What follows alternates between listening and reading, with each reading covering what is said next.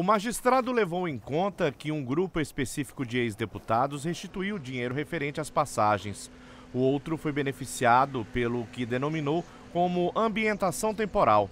As passagens na época eram usadas de diversas formas, de acordo com a necessidade de cada parlamentar. O juiz assegurou que a época em que o fato foi praticado não se apresentava como uma conduta criminosa. Era realizada de forma corriqueira, sem que os deputados sequer tentassem escondê-la. Para muitos, era usada como uma estratégia eleitoral para garantir votos para uma futura reeleição. Atitude comum entre os parlamentares